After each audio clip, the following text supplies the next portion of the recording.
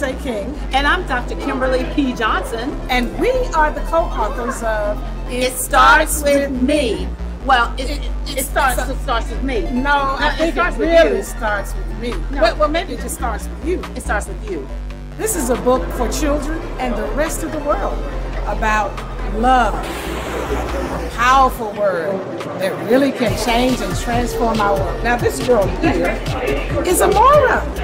So, Amora is going to take us on a journey around the world with her friends, talking about how we can be loved. Thank you so much for reading this book. It starts with me. Dr. King's vision is coming to life, and you guys are going to carry that vision into the world. Have fun reading. We want our children and you, parents, to be loved in the way you speak, in the way you act, and in the way you think. That's what it starts with me about. It starts with me. I am the one who infects the world with love. It starts with me.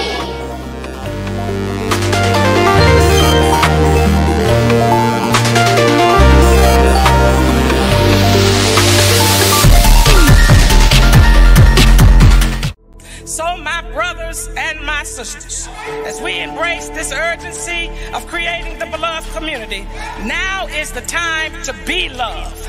Love means understanding, redemptive goodwill toward all which seeks nothing in return. So be loved by implementing of justice to eliminate the school to prison pipeline that has so many black children entrapped. Be loved by correcting voting policies that seek to suppress the votes of millions of black and brown people. Be loved and implement the demands of justice by transforming a society that is disproportionately violent toward black lives, including black transgendered lives and indigenous lives. Be love and correct false narratives and economic policies that continue to divide and pit and working class black and white people against each other. Be love and implement demands of justice where systems and structures are deconstructed and lead the way of living in community that reimagines just, humane, equitable, and sustainable policies, practices, and behaviors. Love your enemies. Bless them that curse you. Do good to them who hate you and pray for them that despitefully use you and abuse you. Be love and do justice and love mercy and walk humbly with our God.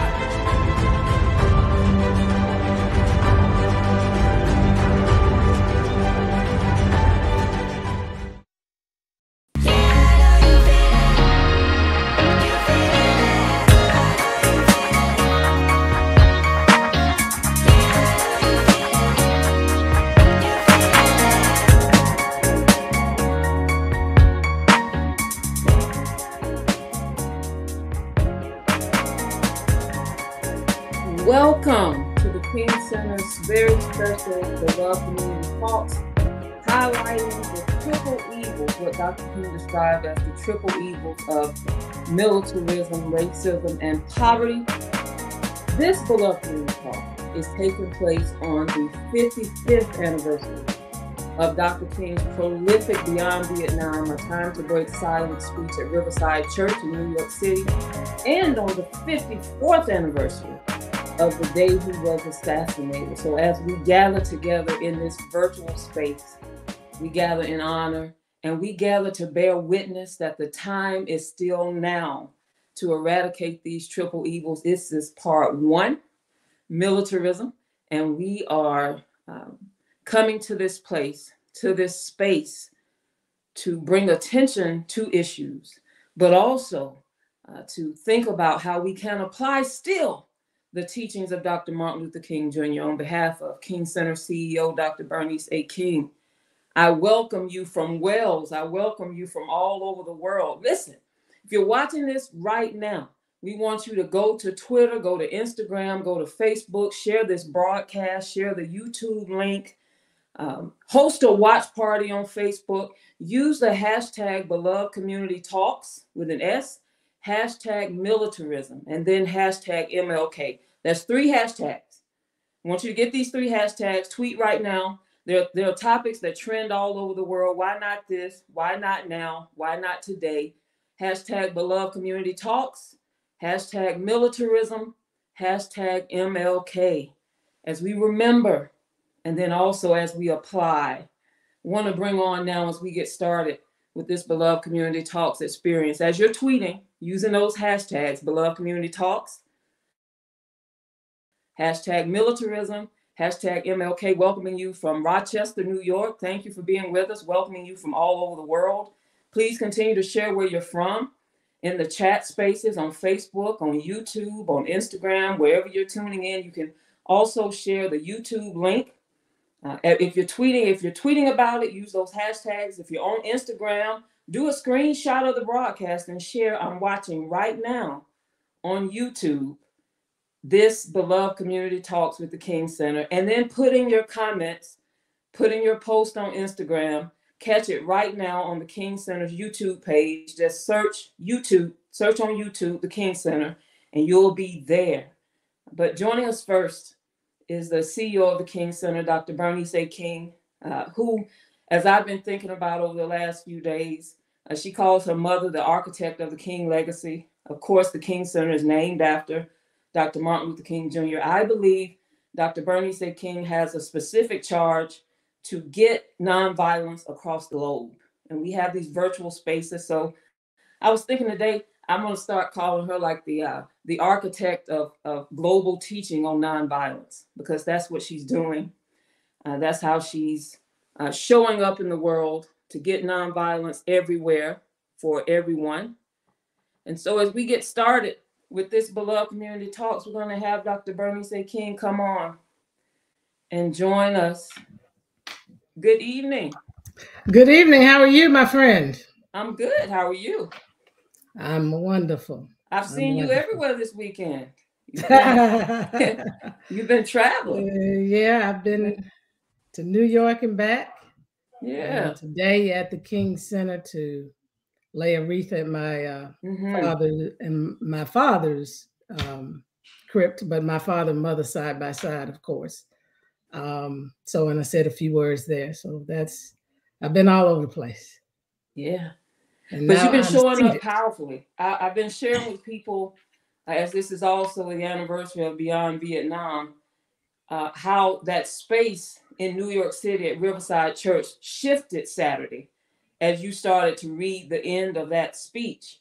Um, and I, I, know we want to talk about a number of things tonight, but I know we need to mention too um, the agony of choosing a call to conscience. I know that's something you wanted to highlight. So as you uh, begin this beloved community talk and share any comments uh, when we're, we're done with that piece, could you could we talk about that for a moment? The agony. Yeah, yeah. I mean, you know, in in that speech, my father said that um, the calling to speak is often a vocation of ag- agony, mm. uh, but one must speak. And that's where he found himself on April 4th, 1967, when he uh, publicly, officially uh, came out against the war in Vietnam. I want people to understand that my father was a leader of conscience. I mean, he he always wanted to stay aligned with his conscience, conscience, and because he uh, believed in the eradication of what he called the triple evils of poverty, racism, and militarism, he knew that he could no longer segregate his own conscience as he fought against, you know, segregation in the South. He could not segregate all of these interests because he saw them as intersectional intersectional. Um, but it wasn't easy. I want people to understand that although he was a leader of conscience um, he agonized uh, because he had to take a very strong step in courage and faith um, knowing that in the end there were those who would misunderstand um, his position. Um, and so he had to decide am I going to stand in this space um, where my colleagues in civil rights who stood right by my side as, as we fought for the Civil Rights Act and the Voting Rights Act are now saying, Dr. King, don't mix the two, don't blend them, don't create an enemy of President Johnson, who's been, you know, a friend of our work. Um, he he had to consider uh, the criticism, harsh criticism that he would get from the media, um, and then he had to consider the fact that his own board, the Southern Christian Leadership Conference, um, would not stand with him or allow him to take that platform as head of the SCLC. Um, there was one member, Reverend Otis Moss Jr., who's still living to, to, today, who was a member of the board who did personally support him. And so that agony uh, uh, for him um, obviously took a lot of courage, a lot of strength, a lot of faith. Uh, but as he said so eloquently in an interview he did with Mike Douglas, and you remember that interview where they asked him, "Are you con- are you concerned that you may have fallen out of favor?" Right uh, right. with President Johnson by taking this stance against the Vietnam War. And he said, well, that's not what's most important. He said, what's important to me is that I not fall out of favor uh, with uh, what uh, is is um, I'm trying to remember the exact word that I not fall out of favor with what is true and what my conscience tells me is just and right. Mm-hmm. And then this is the striking thing he went on to say uh, is that I much rather stay in favor with my conscience than to be, to be concerned about people who may not understand the position that I take. Now that to me wow. is ultimate leadership. When when you are willing to stand for what's right, what's just, and what's true, no matter what the cost is, because you want to stay aligned with your conscience. You don't want to do what he said is the popular thing. You know, you, you're not concerned about what's what's what's politic and expedient or safe, but you're concerned about doing what conscience tells you is right. And speaking out against that war was the right thing. And my mother really was the person who continued to encourage him just before that time. Martin, uh, we need your voice in the peace movement because my mother had been in the peace movement since before she met my dad. Um, and um, she had been participating in a number of peace conferences around the world. And she felt that his moral voice was needed in that movement. And so she was with him, even though everybody else turned on him. She was right there with him, um, you know, holding him up, um, encouraging him. And I think that's really what helped him to go ahead and take that public stance. Wow.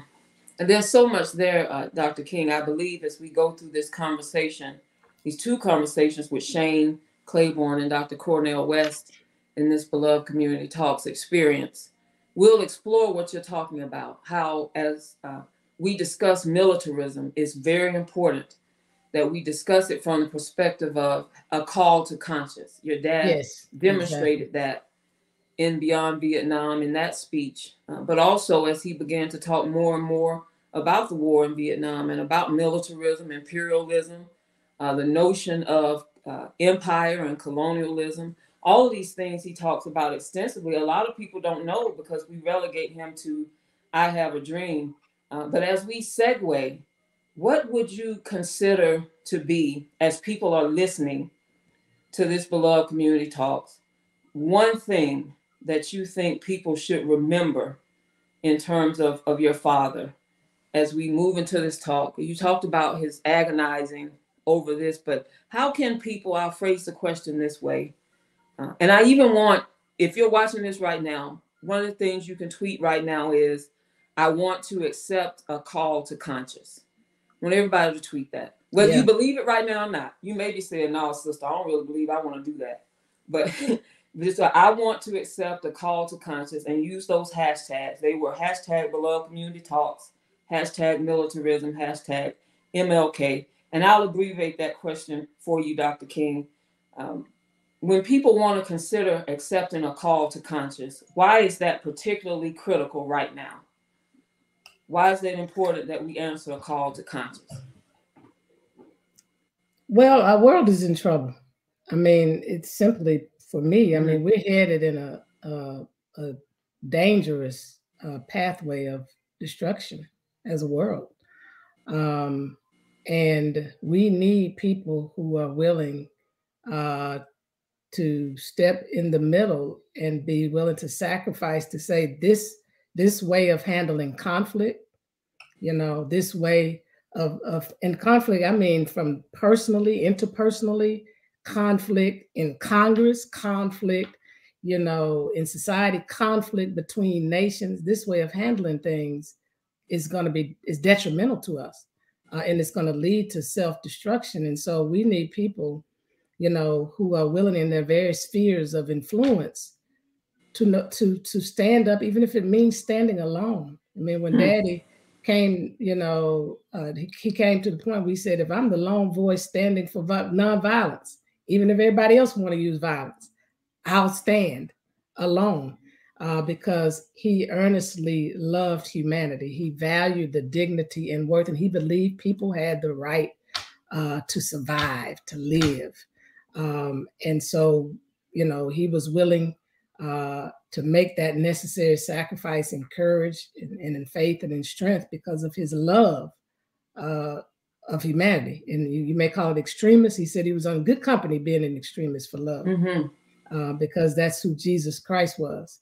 Absolutely. And so um, I would say to everybody, it's time to to be that extremist again. We have to be an extremist uh, for love, for, for love, for justice, for humanity, not to the point of becoming obsessed uh, where we become the very thing that we're trying to eradicate. Um, but we do it in a way where the dignity and the value and the worth of people are still um, upheld. And so, you know, I'm looking forward to this discussion tonight um, from my, my two brothers. And uh, thank you uh, for hosting this tonight. Uh, and I'm going to be listening in and taking some good notes. Wonderful. Thank you so much, Dr. King. Thank you. Thank you to you, to your family. Uh, we remember you today. We're praying for you. We know all over the world we're commemorating this day, uh, but you're a family. And uh, this is different than how we remember the death of, of loved ones, and that you're doing it with the world. so, uh, thank you for taking the time to share with us this evening. Thank you. Thank you. Wow. Wow. As I tell the students who participate in our uh, beloved Community Leadership Academy at the King Center, it is uh, not to be taken for granted when we have the opportunity to hear from Dr. Bernice A. King. Uh, and certainly tonight, as she shared about uh, today, this morning, wherever you are joining us from, and she shared about agonizing over answering this call to conscience as Brother Shane Claiborne comes on now, a wonderful activist who's doing some things to uh, come against and eradicate militarism in two ways that I think are key uh, the eradication of the death penalty, but also by taking weapons, guns, and turning them into tools to, to plant and to grow and to sow, uh, which has a great spiritual significance that he highlights as well. And so we want to welcome our friend a friend of the King Center, Brother Shane Claiborne, as he comes on now to continue this conversation around militarism. And not just talking about it, Brother Shane, but talking about how we can eradicate it. You know, we can have great conversations, but then yes. we have to go put in the work, right? Well, I know that's right. I know that's right. Joining us. How are you? yeah, you? I'm doing so well. Better now. I mean, it's a in in one way it's a heavy day, you know, as we remember what mm-hmm. happened to Dr. King, but we also are filled with hope. We know that that love triumphs over hatred and life conquers death. I mean, the whole Christian story's got those that paradox, you know, of of mm-hmm. life and death kind of at war. And uh, uh but you know, you mentioned the uh the swords to to plows image of the prophets. And one of the things I love about that is it, it, it's this proclamation that things can be made right. You know that, yes. that even metal that is crafted to kill can be recrafted to cultivate life. And uh, all things can be made new. So when we do that it's a declaration of that. I got a, a you know a couple of them i brought with me. This is one of our shovels that's made mm-hmm. you, know, you, can actually still see the winchester up there uh, that it, it, originally was a gun even the wood stock is made uh, you know into the handle of it so you know walter brueggemann he talks about the prophetic imagination and uh, uh, he says sometimes we we misunderstand the prophets and we think that they were fortune tellers uh, but they were actually truth tellers. They weren't just trying to predict the future, they were trying to change the future by waking us up and inviting us to uh, have a different imagination about mm-hmm. where we're headed. So that's what you know we're about is that that kind of prophetic imagination. And Dr. King had that, right? That he did that, absolutely. That, you know, it doesn't have to be this way. Uh, and the other thing I love about the, the, the the image is that it says that that nation will not rise up against nation; they will study war no more. But the change begins with the people. And as you read that prophecy of Micah and Isaiah, it's this image that that peace doesn't come from the top down. Peace comes from the bottom up. Change comes from the bottom. It's not the kings and the politicians and the presidents that lead us to peace. They keep leading us into the wars. It's the people who are so tired of violence that they begin to take things into their own hands and they begin to transform those tools mm-hmm. and the tools of life. They, so they become, in fact, Brother Shane, Dr. Dr. King used this phrase, transformed nonconformists. Mm. Mm, that the, the people who are rising up have, in a sense, said, We're not going to study war anymore. We won't accept militarism. We won't accept poverty. We won't accept racism and all these iterations of bigotry and discrimination. And when the people say, We've had enough, I think that's what Dr. King was calling us up to this, this call uh, to consciousness, where he talked about unarmed truth and unconditional love then we have phrases like militarism, Brother Shane, that when we when we use that, um, I become concerned that people might not know just what that is. That is yes. um, the use of force, weapons, uh, government control, government, uh, you know, armies, uh, militaries to keep people in check. And sometimes when we hear it, uh, people think it's just um, about the Navy or it's just about a, a branch of an actual military. But we've seen, particularly in the United States recently, uh, militarized policing.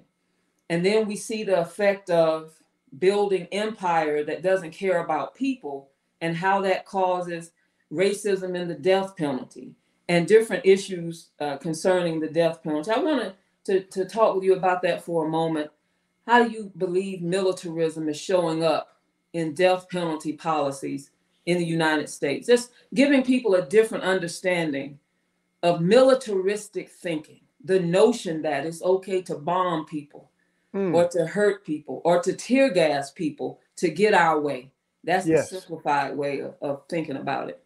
Yes, Lord, you preaching tonight, Dr. Vonnetta. Uh, you know, but the, the, the, one of the things that King does so well is name all the different manifestations of violence and say mm-hmm. violence is the problem, not the solution. Violence is the disease, not the cure. We're not going to bomb our way into peace. And he, you know, he names that contradiction that we're telling young people that violence won't solve their problems, but then they, you know, they ask us, why does our government use massive doses of violence to try to mm-hmm. solve its problems? And with the death penalty, we do the same thing, right? We're teaching our young people that two wrongs actually can make a right. Because that's right. exactly what it does, right? Like uh, we're trying to kill to show that killing is wrong.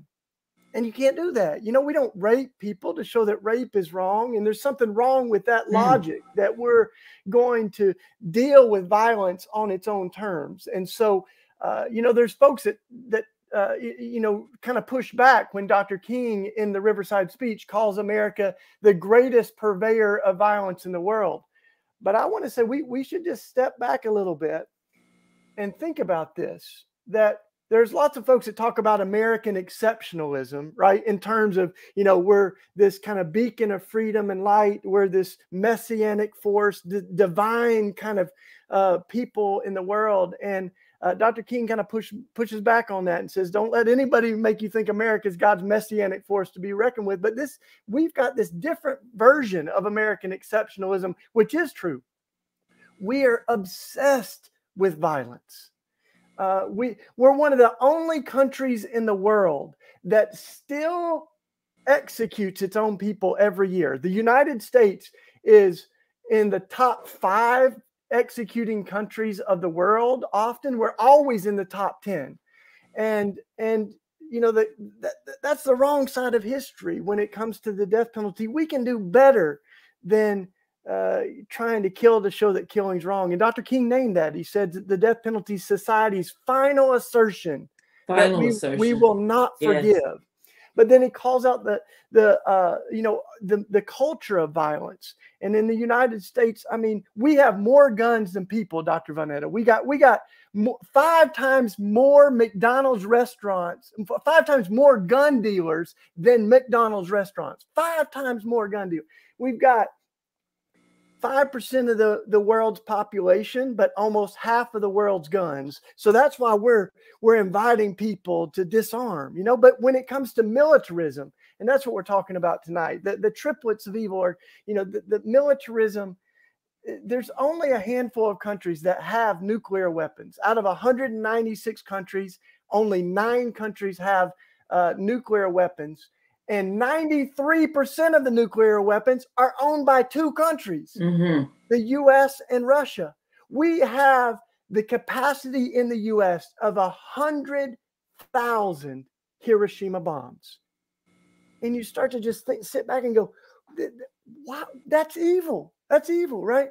And we're the only country that has ever used nuclear weapons. And we did it twice in one week, dropping them on Hiroshima and Nagasaki. So this is uh, th- that's the exceptionalism is is how we continue to live by the sword and die by the sword and so. And die by the sword. in, in this speech i mean he really invites us to get the log out of our own country's eye and we're all upset about russia right now as we should be but you know in 2003 we were dropping 900 bombs a day on iraq and I was there, Dr. Vonnetta, as you might know, with you know, as a part of the resistance, the peace team, and I picked up a piece of shrapnel.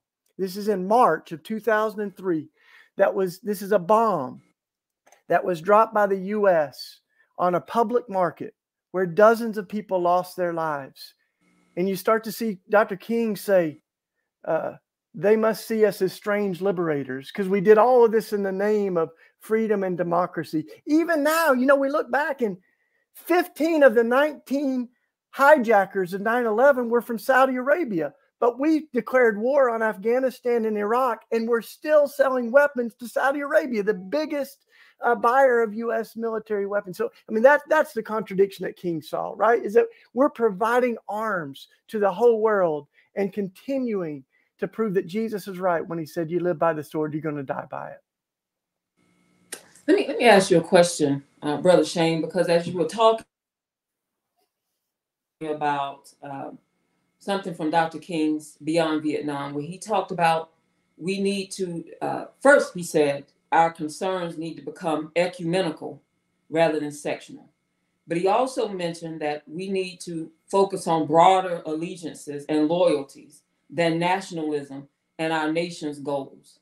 And I Yes. think one of the things you're talking about that, that's causing a log to be in our eye is nationalism. And we think about nationalism and its, its impact on cultivating militarism, this idea that we have to protect our territory, and that this nation built empire through slavery and Yes. through genocide. And uh, that's what imperialism is. We'll talk about imperialism more with Dr. Cornel West, but can you share for a moment how do we get to those broader allegiances? I think Dr. King's talking about spiritual allegiances, allegiances to humanity that Yes. cause us to say we won't study war. We're going to turn guns into to tools of peace. We're going to uh, end the death penalty. How do we Mm. get there? Give us some insight. Well, that that uh, that that calling beyond nationalism is a radical call. You know, M- Mother Teresa. She, as I was listening to Dr. King's, uh, you know, reading the speech again, I, one of the lines that I uh, reminded me uh, of something Mother Teresa said, and she said, "Sometimes our biggest problem is that the circle we draw around our family is too small.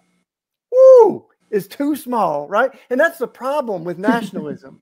Is that the circle we put around our family is too small. And Dr. King is inviting us to love bigger, to love better, uh, to say that if someone is suffering on the other side of the wall in the US and Mexico or the wall in Israel and Palestine, it's as troubling as if it were my Mm-hmm. own mother, father, or sister and brother. And I grew up in the evangelical church, and it kind of became became cliche to to have the born again experience, and we we kind of trivialize that. But I I almost think we got to take it back and say that what Jesus is inviting us into is to have a bigger vision of family.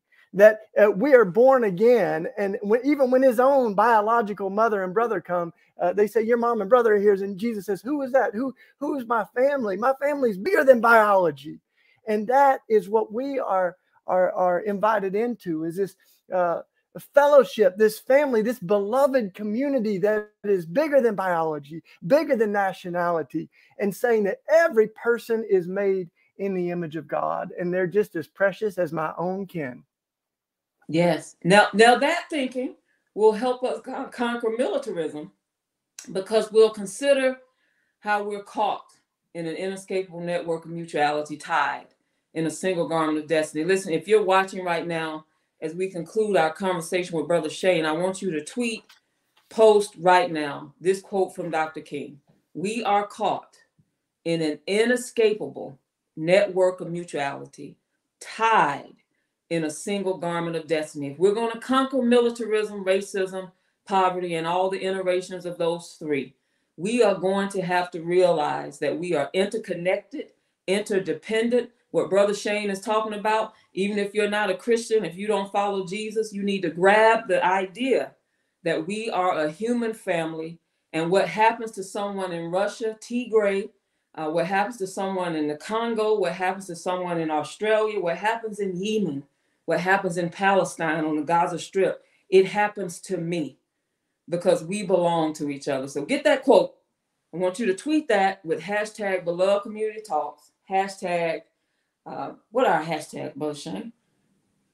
You know, militarism. That's Militarism. it. Hashtag Triplets. militarism. Yep. Hashtag MLK. Yes. Get it out there. Brother Shane, one last comment for us uh, this evening. One thing you want to share to encourage people to accept the call to conscience to eradicate these triple evils. I, I want to say that I, you know, as I as I look at Dr. King constantly, one of the things that strikes me is that he knows that this is a countercultural call. It is a call to Mhm. revolution, and it's it's a revolution of love. And it, it's that you know when when someone threw an insult that he was maladjusted, he embraced it, and he said he said we become way too adjusted to To some injustice, things we, we should not be adjusted to, right? We become Mhm. way too adjusted to violence and to racism and to inequity between the rich and the poor. So we need some holy maladjusted people. And to, to stand against the triplets of evil is is to stand for love. And that that can be uh, something that might lead us to jail. But as John Lewis and Dr. King would say, that's why we can smile in our mugshots because we know that we're on the right side of history. But right now, it is a countercultural call that goes against the the cultural values of, of racism and militarism and materialism. Thank you so much, Brother Shane. You've given us you. our second statement. We our first statement was I will accept the call to conscience. This is your the first statement rather was I will accept the call to conscience. The second statement is this I will be maladjusted to injustice. I want you to tweet that, write that down. We, we're talking about how to do the work after this, and there's some inside work we need to do. I will accept the call to conscience. I will be maladjusted to injustice. Thank you so much for that, Brother Shane. You you provided some great insight. This Always, evening. Always good to be together. We'll do it again soon. And I'm, Yes, I'm sir. honored to be with uh, King Center Dr. Bernice and Grateful uh, to be a part of your community and to have you here with us. Thank you so much. love y'all. Yeah, I'll be listening Love in on Dr. Dr. West. I, lo- I love Dr. Cornel. So we'll see you soon. Bless you. Bless you, sir. I will be maladjusted to injustice. I will be maladjusted to injustice. Listen, we have a, a video coming up, and when we come back, we'll continue our next conversation. The King Center's beloved Community Leadership Academy is excited about the opportunity to help students recognize and develop their potential to become nonviolent leaders in industries such as technology, innovation, business, and entrepreneurship. Our multi year program is the first nonviolent youth incubator that enables youth to dream, build, innovate, and commercialize inventions that further Dr. King's living legacy. Applying Dr. King's philosophy of nonviolence to the technology and innovation sphere, youth will design nonviolent mobile apps, vlogs, 3D CADs, digital games, and all other career design opportunities that creatively solve global issues. Students will challenge themselves to grow professionally and academically through our project based learning model. Our academy utilizes a four pronged model. 1.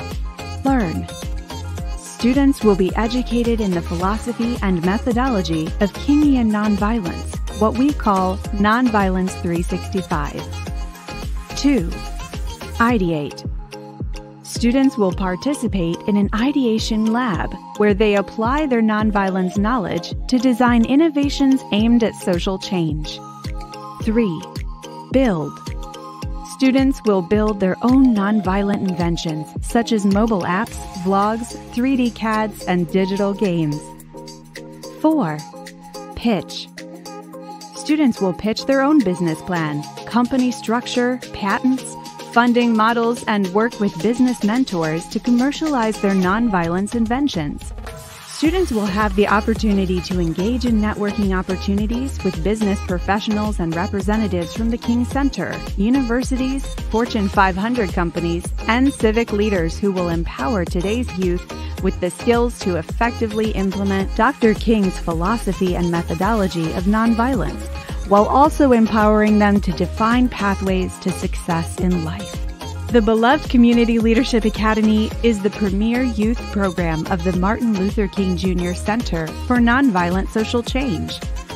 The beloved Community Leadership Academy is committed to developing the next generation of compassionate, courageous, and conscientious nonviolent leaders to solve pressing world issues.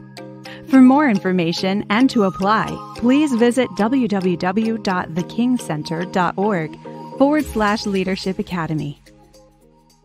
Love. Now, I know many of you saying, what do you mean by love? Because people have so many different understandings of love. What I am talking about is not the powerless, the weak, and the anemic love. No, no, no. I'm talking about be love and implement the demands of justice.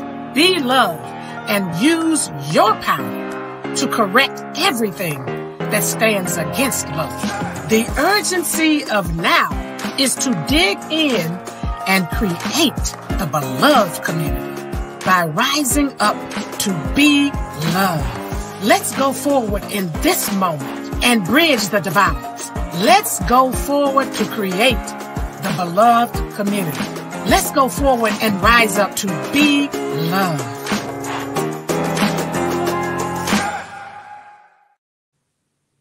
Welcome back. Listen, those just weren't any videos. I know I said we were going to uh, watch some videos, but that first video was about the Beloved Community Leadership Academy. I want to encourage you to go to the kingcenter.org uh, and go to the Beloved Community Leadership Academy and share that academy information with family and friends. Educators can nominate students. Uh, we want to fill that academy up this summer. It's not just a, a summer Academy. It continues uh, for two years, and we want to be sure uh, that students uh, from all over the world, it's a global virtual academy. So no matter where you're watching from, we want your application. We want you to get it in, become a dream builder, not just a dreamer. Because Dr. King was more than a dreamer. Sometimes people say he was a dreamer, and I think Dr. King was a doer as well. So we want you to be a dream builder youth age ages 13 through 18 with our beloved community leadership academy and we invite you to take the be love pledge join us for a movement to implement the demands of justice across the globe and justice is not revenge it's not retaliation dr king said justice at its best is love correcting everything that stands against love we invite you to join us in being love everywhere we go every day go to, to the kingcenter.org backslash be love and take the Be Love Pledge and join us in that movement. Having these first two segments been amazing. I don't know if you can tell, but I'm I'm genuinely, genuinely excited uh, about the prospect of us getting rid of these triple evils.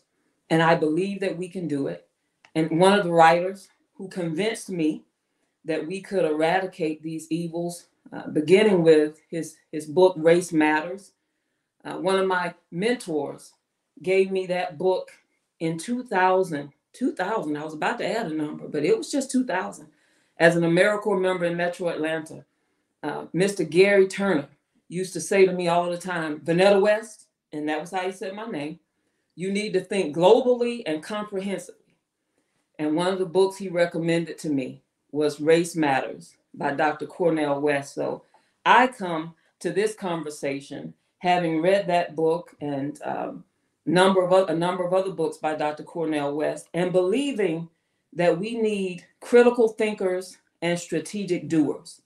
And he happens to be both critical thinkers, love centered critical thinkers, I would add, and strategic doers. And so we want to welcome now uh, Dr. Cornel West as we continue our conversation about militarism, part one of our beloved community talk series on the triple evils. Welcome, Dr. West. Well, you know, it's a blessing to be here, my dear sister, Dr. Vonnetta West. I'm sure you're my cousin. We look for I'm sure too.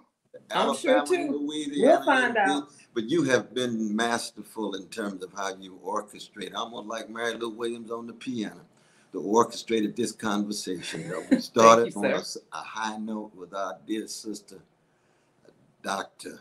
Bernice A. King. Yes.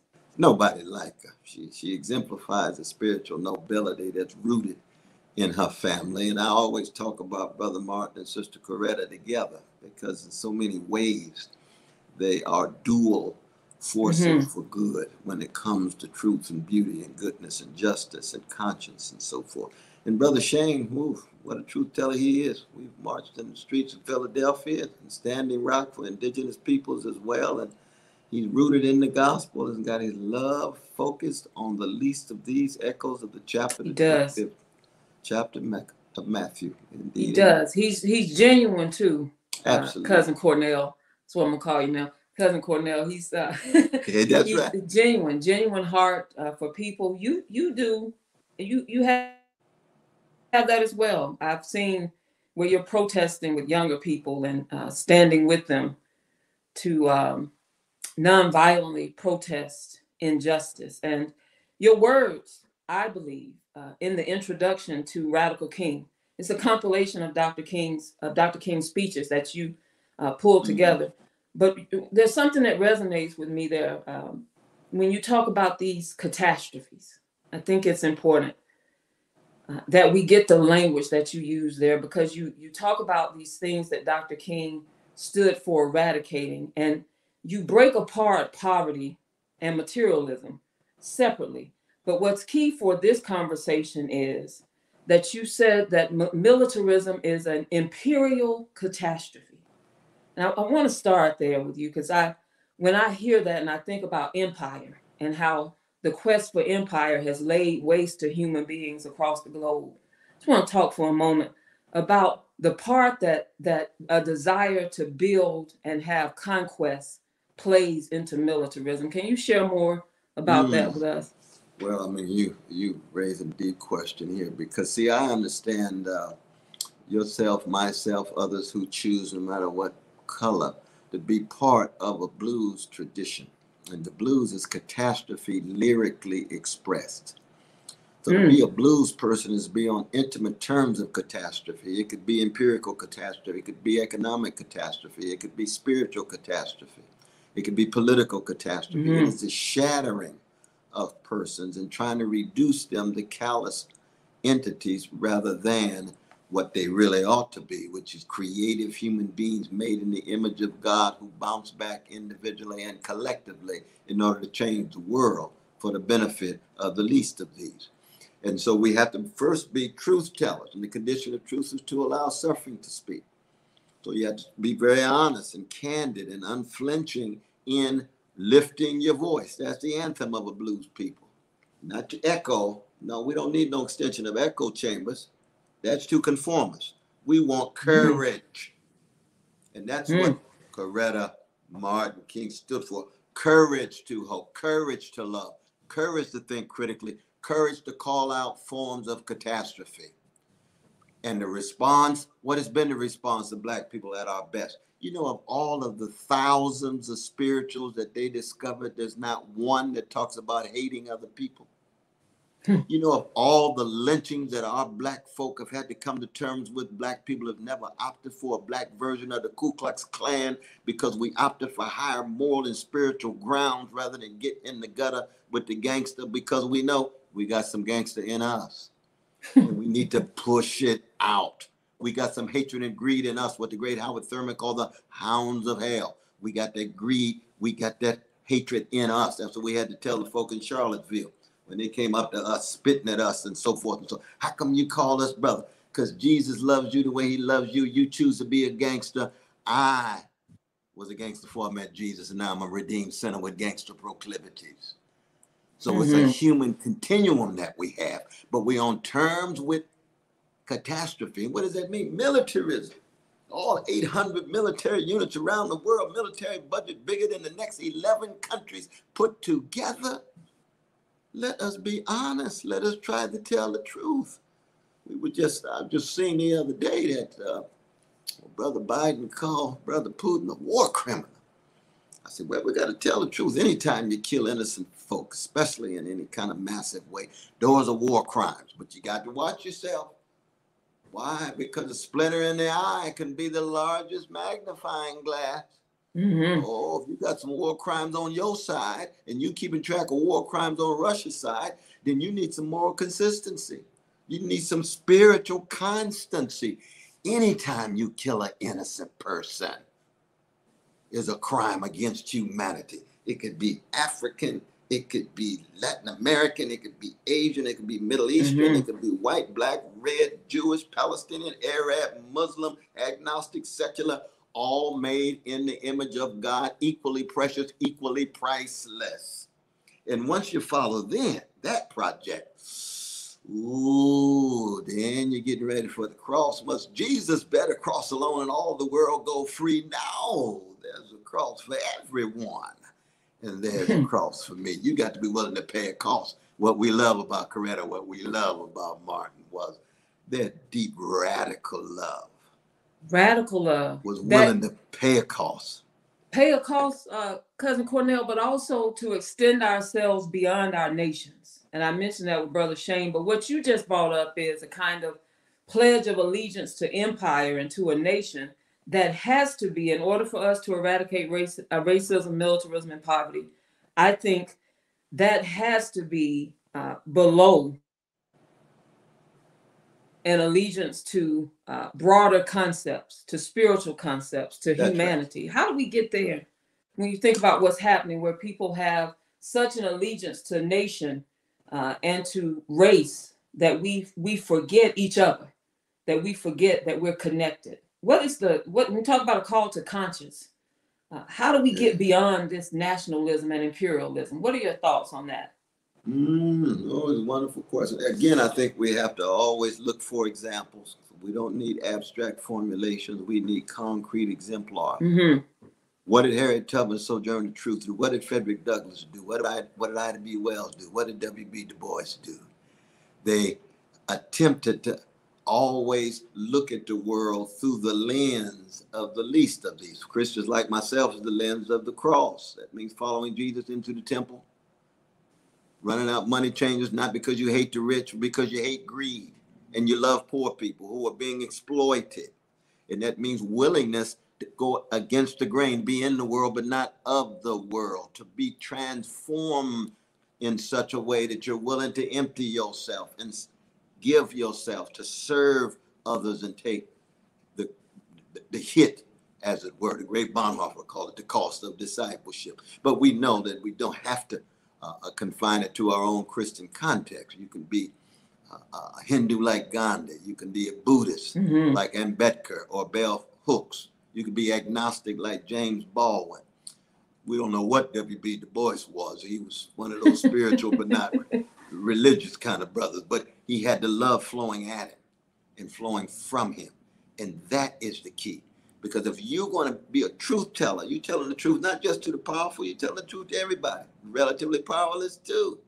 You got to critique mm-hmm. of empire, absolutely. But you also got to critique of patriarchy. You also got to critique of white supremacy. You also got to critique of male supremacy. You got to critique of transphobia. You're keeping in contact with the humanity of everybody. Non-binary is made in the image of God. The imago Dei. Oh, what mm. a powerful formulation our Jewish brothers and sisters gave the world in terms of Hebrew scripture. What it really means to be made in the image of God and spread that hesed, that steadfast love to the orphan and widow and fatherless and motherless and persecuted and subjugated. And then here comes the Palestinian Jew named Jesus that said, We're going to love our enemies. Mm. Yes, because we're going to have so many of them because we loving poor people. We loving those who have been pushed to the margin. So we're not obsessed with our enemies. We don't want revenge toward our enemies. We don't right. hate our enemies. We hate what our enemies do. We hate oppression. We hate injustice. I learned that in Vacation Bible School in Shiloh Baptist Church. You hate the sin and love the sinner. That's not just some simplistic formulation. That's a way of life. And that's it, what Brother also, Martin and Sister Coretta and Sister Bernice and others understand so well. Cousin Cornel, I want to point out because when you raise the the driving out money changers because uh, you hate greed, not because you hate rich people, I started to think about uh, the third principle of nonviolence. Nonviolence seeks to defeat injustice and not people who are perpetuating injustice. That's very key when you talk about eradicating these triple evils that is not about hating the people who cultivate these evils. It's about getting rid of these injustices. If we focus that way, what can we do? Because a lot of people's time today is spent on people and and saying this person is horrible versus saying this injustice is horrible. And I think that a part of this call to conscience and a part of eradicating militarism is to look at war and say we have to get rid of this. How do we do this? That's exactly. What are, what are your thoughts on? Um, thank you, sir. What are what are your, your thoughts on what we're, we're seeing today? Um, not just with with Russia because and, and Ukraine, because there's a lot of attention on that, but we know militarism is a global pandemic. It's happening all over the world. In Tigray, there's a humanitarian crisis. Our our neighbors in Yemen are still suffering, and there's not a lot of attention being paid to that and, and always you know in other african nations because of the the uh, devastation of colonialism and slavery and uh, empire imperialism when we look at what's happening in the world um, how do we get can you share your thoughts on how we get media to focus on militarism as not something that the united states is separate from but something that we need to correct within our nation and within our government. Dr. King, I believe he was he was correct when he said that the greatest purveyor of, the, of violence at that time and probably now was our own nation. But it's hard to get people to see that when they live somewhere. But we're not saying mm. it to hate America. We're saying it to call America into accountability. How do we get people to see the, the need for accountability concerning militarism?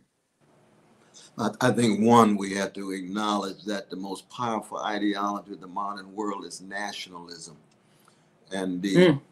allegiance to the nation state that convinces people to live and die for it. If you ask somebody to live and die for blackness, to live and die for womanness, to live and die for the trade union movement, or to live and die for gayness or less, you're gonna get more folk dying for the flag than you're gonna get folk for dying for all of those things. That's what I mean mm. by nationalism, powerful ideology. Now, here we come and say every flag is under the cross. And Brother Martin says that cross stands for unarmed truth and unconditional love, love. And the condition of truth is to allow suffering to speak. And love means you have a steadfast commitment to all of our fellow human beings, beginning with the least of these the poor, the working people, the prisoners, the marginalized, disinherited. The, the called them disinherited, the yeah. disabled, and so forth. You see. Now, when you look at it in that way, then you say, well, America, your dominant myth is the frontier. What is the frontier? Moral regeneration through violence. Ask our indigenous brothers and sisters. Brother Shane and I saw that in Standing Rock, right? 1492. That's World War been going on ever since. Then you got black folk bring over African folk, slavery, the most barbaric of modern forms of domination. That's violence. Then you got violence against the working class. They didn't have a chance to engage in collective bargaining until 1936. Argentina had it in 1836. And if they tried, if they attempted to organize, they were crushed. That's violence. Then you got domestic violence against precious sisters of all colors. Violence against gays and lesbians. We're a deeply violent society because we think we get more regeneration through it. That's what January 6th was mm-hmm. about. They got more regeneration. See how they feeling so good? It's like watching a John Wayne movie. You see it in the films. It's in our novels and so forth. So what do we do? Here come Martin Coretta, countervailing forces. Examples. It wasn't just talking about it. They were being a hope. Be love, as Sister Bernice says, Dr. King said. Be love. Mm-hmm. Start with yourself, connect it to others and don't do it in the spirit of self righteousness because we got some violent proclivities inside of us. We know that. All of us mm-hmm. have that. The question is whether we have the moral and spiritual wherewithal to direct it in the right way. And that's always a challenge. That's why we need each other. Uh, and we're living in such grim times, you know, organized hatred and institutionalized greed. I mean, you think of militarism on a national level, you think of uh, an international level, you think of the uh, the arm manufacturers and the war profiteers. One of the reasons why J- Jesus went in the temple and his mm. disciples got mm. Got scared is because there were 400 troops protecting that temple. And you had bankers on one side and the intellectuals rationalized the bankers on the other side. And here comes Jesus, the country boy from Nazareth and he gonna run them out, and end up on a cross, put to death by the most powerful empire of the day out of what? Love. Out of deep, deep love. And Stevie Wonder says, love in need of love. John Coltrane says, love supreme. Mm-hmm.